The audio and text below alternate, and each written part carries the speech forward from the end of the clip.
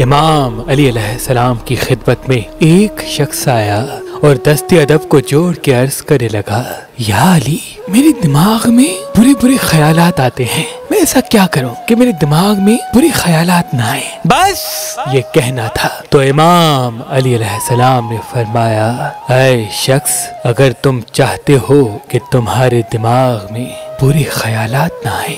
तो तुम रिज्क हराम से अपने आप को बचाओ और बुरे ख्यालात को ना आने के लिए सोचो और ना ही उसको खत्म करने के लिए सोचो, क्योंकि तुम्हारा बुरे ख्यालात को खत्म करने के लिए सोचना भी बुरे ख्यालात के वजूद को पैदा करना होगा।